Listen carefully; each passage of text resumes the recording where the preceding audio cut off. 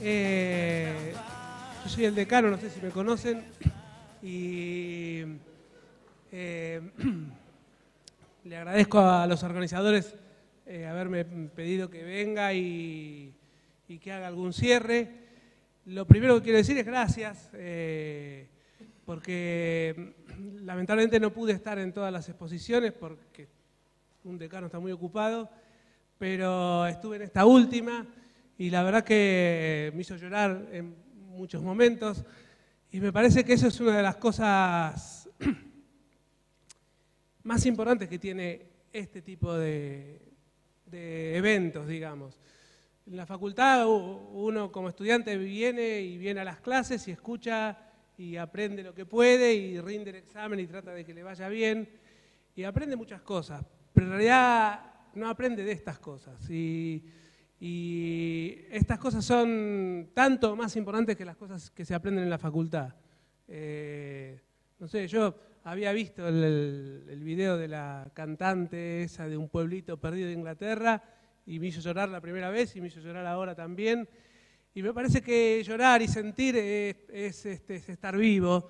Y a lo mejor nosotros estamos grandes, pero ustedes eh, son más jóvenes que nosotros y es bueno que lloren y que sientan eh, en, la etapa de la vida en la que están. Eh, por eso quería agradecer. Después, lo otro es que, bueno, algo importante tengo que tratar de decir, pero me quedé muy, muy apabullado por la charla.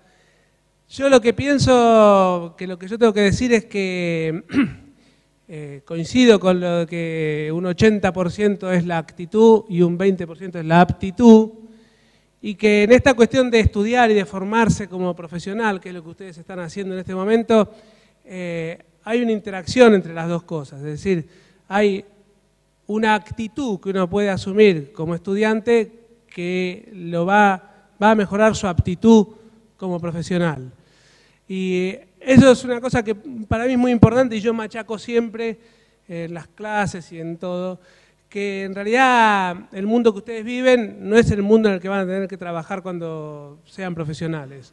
El petróleo se va a acabar, el clima está cambiando, los mercados cambian, qué sé yo, yo contaba en la jura última que eh, en una cena de, egresados de hace dos años vino un ingeniero que hacía 50 años que, había egresado y decía que cuando se recibió tuvo mucha actividad trabajando en el, en el cultivo de mm, Papaver somniferum y cannabis sativa, que son la amapola, de la cual se saca el opio, y cannabis sativa, que es la marihuana que en ese momento eran cultivos legales porque tenían fines, este, se conocían sus fines medicinales y eran muy importantes. Y por otro, en ese mismo momento, Glycine Max, que es la soja, era un cultivo exótico de la China. Bueno, ahora el que quiere dedicarse a papaver y a cannabis se arriesga en cana y la soja dejó de ser un cultivo exótico de la China y es la base de nuestra actual economía, eh, sea deseable o no eso, de que dependamos tanto de un solo cultivo, la realidad es esa. Si, y me parece que con esto yo voy a la actitud del estudiante, que debería ser no quedarse con las recetas de lo que se hace hoy y quedarse tranquilo por aprender lo que se hace hoy, sino tener la cabeza abierta a que eso que se hace hoy probablemente cuando tengan que ejercer como profesionales cambie. Y entonces estudiar con esa actitud, con la actitud de no, eh, no aspirar a quedarse solo con los detalles, sino entender cómo funcionan los sistemas para poder modificarlos. Porque eso también hace a la actitud que van a tener después como profesionales. Porque como profesional uno puede estar a la cabeza o estar a la cola. Uno puede estar a la cabeza de los cambios que vienen y estar adaptándose a los cambios y tratando de, de, generar tecnologías nuevas para un mundo nuevo, o puede quedarse a la cola y simplemente dedicarse a adoptar y eventualmente vender lo que producen otros.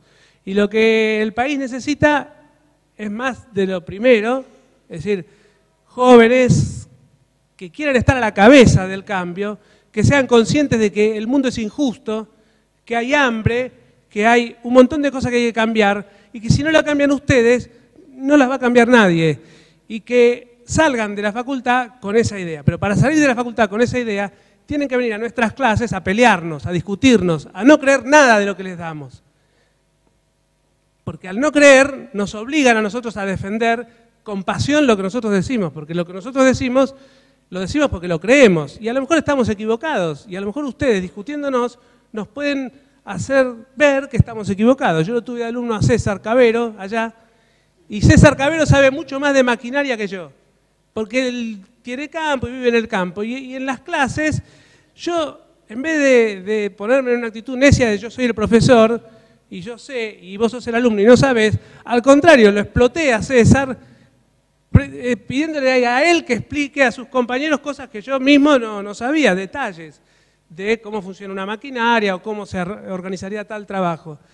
Y, bueno, entonces un poco lo que yo quería transmitir es que eh, actividades como estas sirven para abrir la cabeza de los jóvenes y que nosotros necesitamos como país que nuestros jóvenes profesionales salgan con la cabeza abierta y salgan críticos, y no solo salgan críticos, sino que mientras están en la universidad sean críticos. Porque la universidad es el lugar donde reside el conocimiento universal. Y, puede haber muchas maneras, muchos puntos de vista. Que yo ayer Juan Carr decía que, hablando de política, que a él no le importa si uno es peronista o es radical o es socialista, sino que lo importante es que sea un buen peronista, un buen radical, un buen socialista, es decir, alguien que con honestidad defiende una idea, tanto en política como en cuestiones técnicas, y con honestidad pelearlas y discutirlas, porque eso los hace mejores a ustedes y nos hace mejores a los docentes y hace mejor a la universidad. Lo que no le hace ningún bien al país es la actitud pasiva de decir, bueno, yo vengo, lo importante es aprobar, me aprendo del principio hasta el final lo que me van a tomar el final, voy al final, digo eso y aprobé.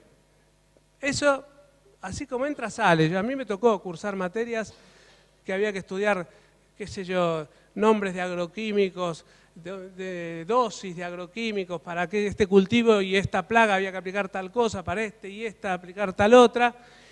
Y bueno, todos estudiábamos un mes esa materia y, y después Diez días después de haber rendido el examen exitosamente, no me quedaba nada de todo eso que aprendí. Porque es, es información, no es formación. Y bueno, listo, chau. Eh, nada más, quería decirles eso, que tomen otra actitud, una actitud creativa. Muchas gracias.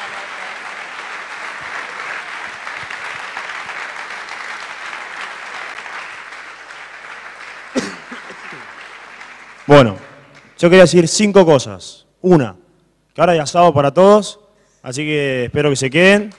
Un aplauso para el asado. Dos, agradecerle a Gritotal, que transmitió en vivo y tiene todos los videos en la página para que lo quiera volver a ver.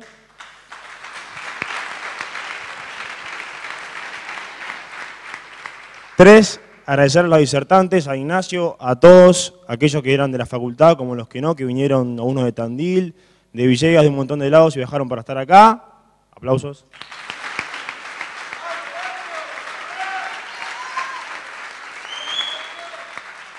El cuarto, agradecer al decano y a las autoridades que estuvieron ayer y hoy.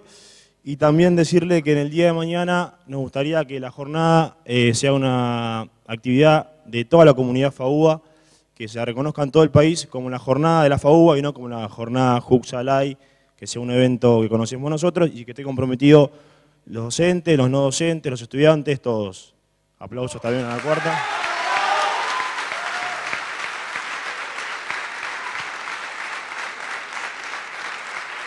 Y la quinta, eh, agradecerles a ustedes por haber estado todos los días, el año pasado también, por haber eh, usado la falta que guardamos para dormir cuando llueve, por haber venido hoy, eh, y invitarlos, como dijo Alecano, como dijo Ignacio con actitud, como dijo Juan Carlos ayer, a participar en política.